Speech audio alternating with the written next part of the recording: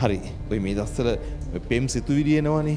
ඕවත් පොඩ්ඩක් ඉවසගෙන මාස 8කට ඉවසන්න බැරිද මුළු ජීවිතයක් ඉන්න හදන එක. ඊට ඉස්සෙල්ලා කලබල වෙන්න වුණොත් ඩවුන් හොඳේ.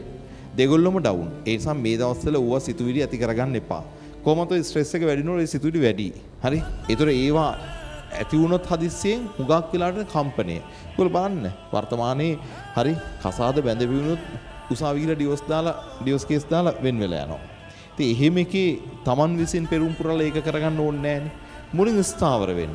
ස්ථාවර වුණාට පස්සේ Tamanට ඒ ගැළපෙන මට්ටම හොයන්න. එහෙම නැතුව පොත්තට හරි වෙන දේවල් වලට වහල් වෙන්න ගියොත් කෙලින්ම කෙලවුණා තමයි. කොල්ල මතක තියාගන්න ඕනේ හොඳ පර්සනලිටියක් තියාගෙන ජීවත් වෙන්න. කෙල්ල මතක තියාගන්න ඕනේ හරි හිරේට බත් අදින්න. දැන් අර පෙනුමට පේන එකා එක සෙට් වෙලා උගේ ස්වභාවය දන්නේ නැතුව ඔය ලව් කේස් දාගත්තොත් මොකද වෙන්නේ? මුලින් පොඩි ඇඟිල්ල අල්ලන්නේ. ඊළඟට අල්ල. ඊට පස්සේ මුළු සර්වාංගෙම. ඊට පස්සේ ඉතින් මේ මහා ව්‍යසනයන් වෙනවා. ඊට පස්සේ අනාතයි. ඉතින් ඕක කියන්නේ මිහි පිට අපාය යෑම. මේ මාස 6 ඉවසන්න. ඕක ඉවසන්නම් බැරි නම් කෙලවෙනවා. හොඳේ. ඒ නිසා ඉවසලා Tamanට ගැළපෙන දෙයක් කරගන්න. එහෙම නැත්නම් වෙන්නේ මිනිහා හිරේ යයි. ඔයා ජනසන්තක වෙයි. ඔයා බලන්න වටේ යයි. ඕක තමයි ජීවිතේ හොඳේ.